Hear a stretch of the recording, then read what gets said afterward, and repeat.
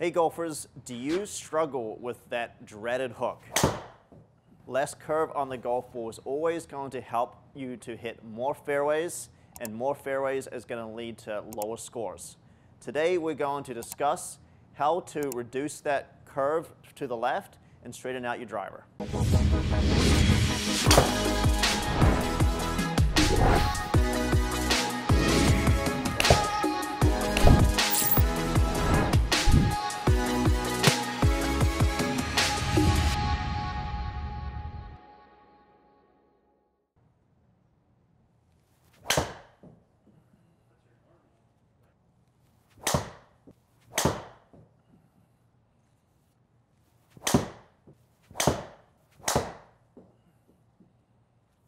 Well, today we have the left side of the golf course fairly well covered here. So I got that big hook going on. So let's explain why the ball is hooking. So let's get right down to the numbers. So if we take a look, you can see today that my club path is slightly into out. So slightly into out, positive means to the right, negative means to the left. So positive 1.7 is telling me my club path is slightly in to out.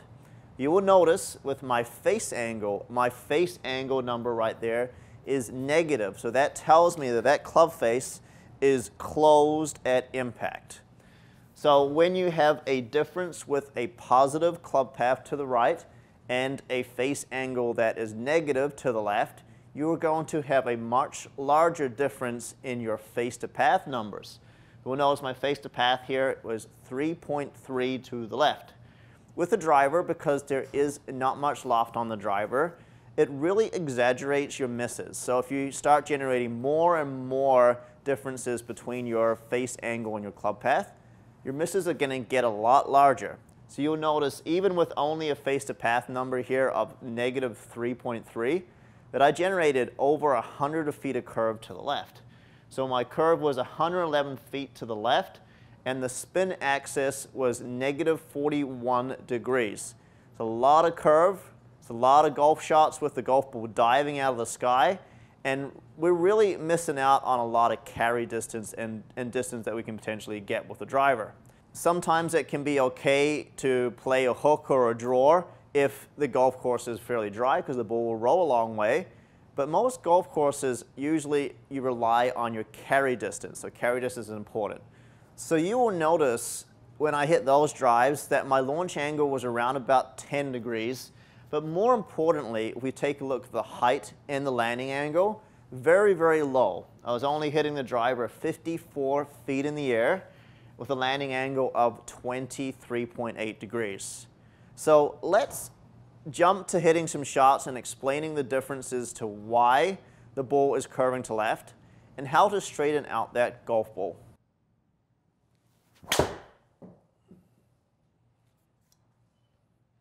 Well, back to normal. So that last shot that I hit had a lot less curve to the left on it. How did I get there? Well, you will notice that my club speed was still the same. We're talking 106 to 107 miles an hour. Ball speed was quite a bit higher.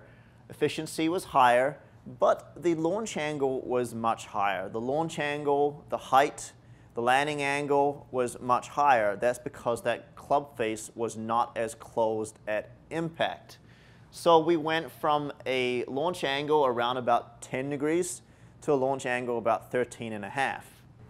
Because the ball launched higher, the ball carried further. So we went from an average carry distance when I was hitting hooks at only 215 yards in the air to 200, almost 280 yards on that first golf swing.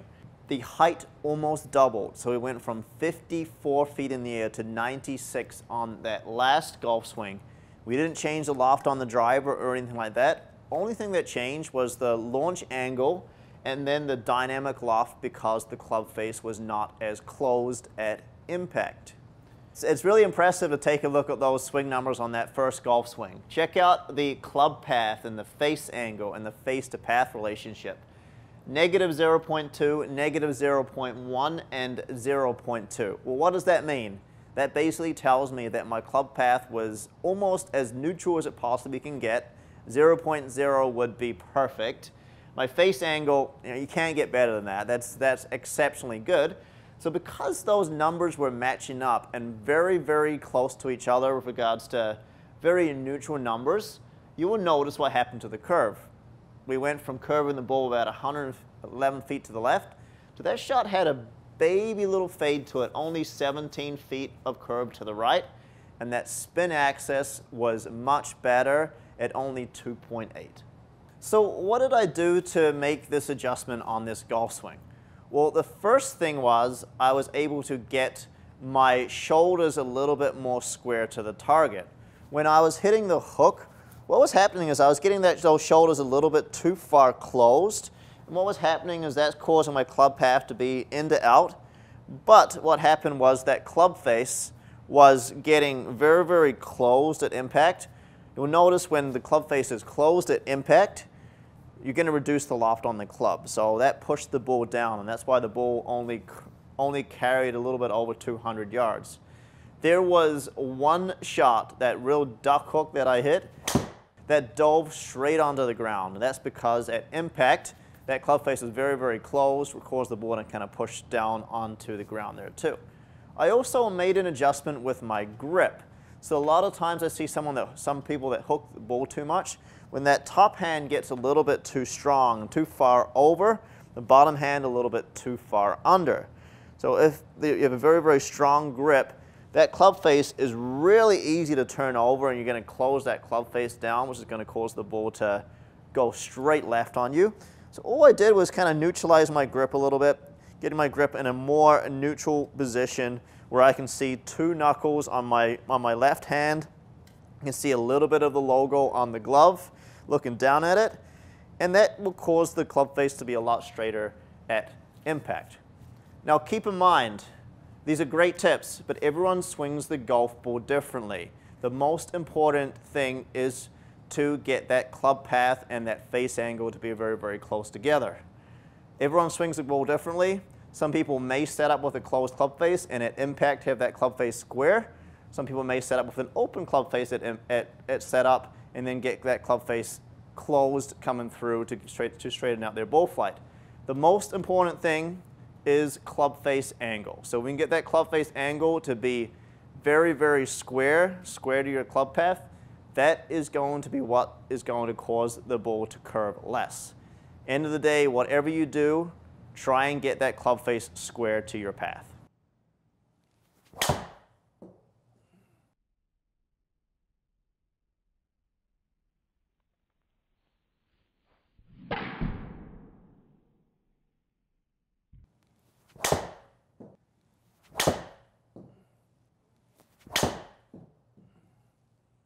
Okay, so five shots with a much better face-to-path relationship. And we'll take a look at the difference between my club path and my face angle compared to those shots that I hooked the driver with. We'll notice that my club speed was within about one mile an hour in difference between each, each other. So this would be a good comparison to compare the difference between a face-to-path that is left or a face to path that is more neutral with a driver. So first thing you'll notice is the huge change in carry distance. So we went from averaging a carry distance of 215 to a carry distance of 279. That's huge. That is a much further drive. And why did that happen? Well, it's to do with the launch angle. So we'll notice the launch angle with that closed club face was 10 degrees.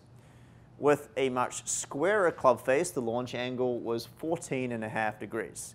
So we didn't change the loft on the driver at all. This is still a 9 degree driver.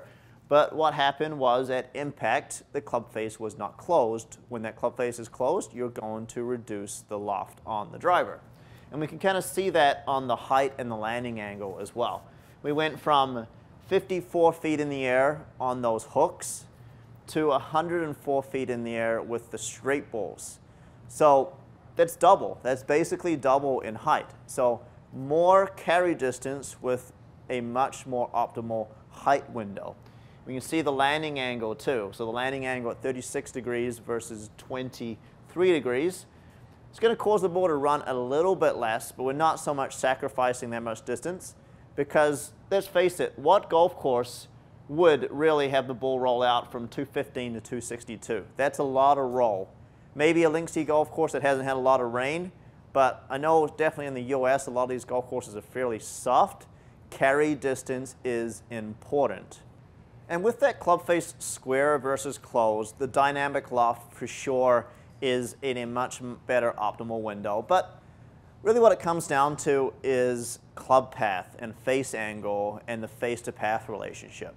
So let's take a look at the differences between the hooks and the straight balls. So you will notice club path, when I was hooking the ball, my club path was a little bit more into, into out when I was hitting a much straighter ball, my club path was negative 0.5, so pretty close to zero. So we improved my club path by getting those shoulders just a little bit squarer and those feet just a little bit squarer to my target. Face angle. Face angle is the most important number to control if you want to reduce the curve. Well, we'll take a look at the face angle with the less curve shots 0.0. Doesn't get any better than that. So when my face angle is 0.0 and my club path is negative 0.5, we're going to have very, very little numbers and much less curve. If we take a look at the face to path, we went from negative 3.3 to actually positive 0.5, which is going to cause the ball to curve minimally at all we'll notice we went from 111 feet of right to left curve to 19 feet of right to left curve. That spin axis dropped from 41 to 3.9. So it's quite the difference. We can see here on the right, you can see the dispersion pattern. Quite a difference there. Now it's kind of interesting because I did have there, there was one shot in there that I feel like I mishit. And then that's that one that's um, the furthest one in the yellow circle.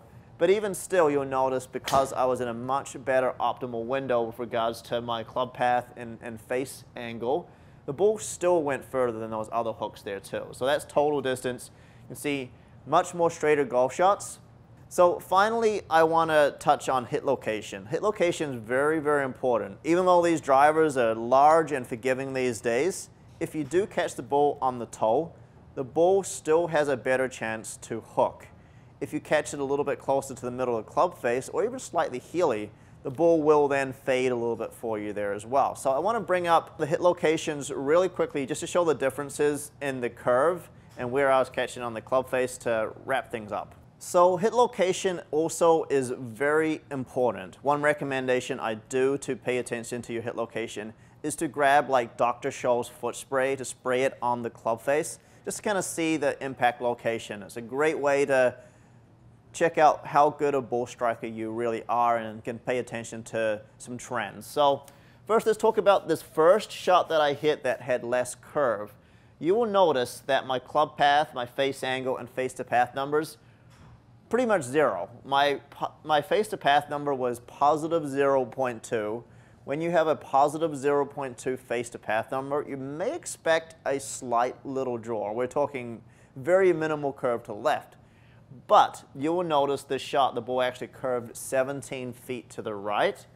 That is because we'll notice that the hit location ever so slightly on the heel of the golf club. So when you catch it slightly on the heel of the club, fa club face, the ball is going to just going to kick that face just a little bit open, which will curve the ball, cause the ball to curve to the right. At the other end of the spectrum, I want to bring up a shot here where I curve the ball really far kind of to the left. So you'll notice here, hit location when I was catching the ball a little bit more toey, that the ball kind of dove to the left. And I want to take a look at the spin axis. Spin axis, negative 80.0. That's because I caught the ball fairly high up on the club face and high toe, which is going to cause the ball to kind of dive out of the sky and dive straight left. So that ball didn't really stand a chance. It was very, very low ball flight and it was straight left. And that spin axis, that is a lot of, a lot of curve there to the, to the left on, on, that, on that golf ball. That's because it was exaggerated by catching on the toe. So hit location is the final piece to the puzzle when it comes to making sure that you can hit the ball a little bit straighter. Alignment is very important. grip is also very important, but where you catch on the club face definitely influences the direction the ball goes. I really hope this helps you understand why you may hit hooks with your driver. Stay tuned for other videos that we're going to be putting up on our channel that will help improve your golf game.